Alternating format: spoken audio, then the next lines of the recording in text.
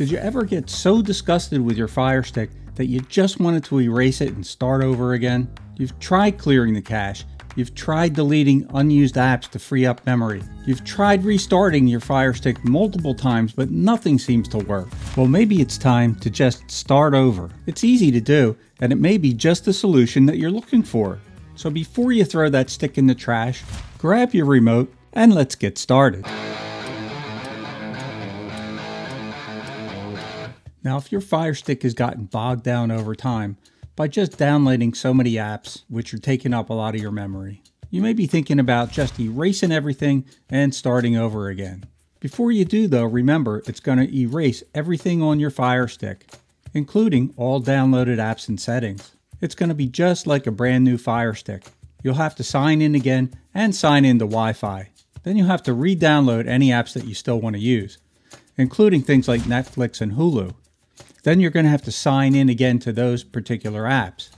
Of course, if you're just fed up with the way the Fire Stick's acting, setting everything to default settings may be just the fix that you're looking for. It's going to restore your Fire Stick to being fast and responsive again, just like it was when it was brand new. So here's how you do it. You scroll over to settings, then down to My Fire TV. Once you click on that, you're going to go down to the bottom, scroll all the way down where it says Result. Scroll all the way down where it says Reset the Factory Defaults.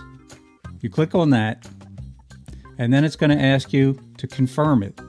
You're about to reset your Amazon TV Fire Stick 4K to its original factory settings. Your sign-in information and personal preferences will be lost.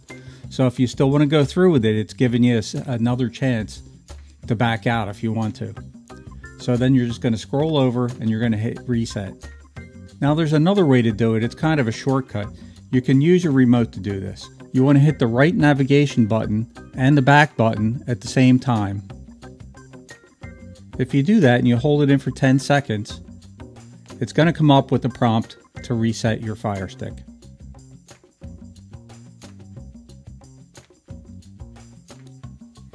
And you see it came up here. Now it's going to do it automatically if you don't stop it within so many seconds. So I'm going to cancel it out now.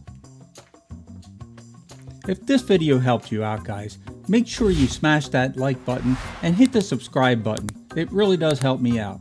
This is Richman. I'll see you in the next video.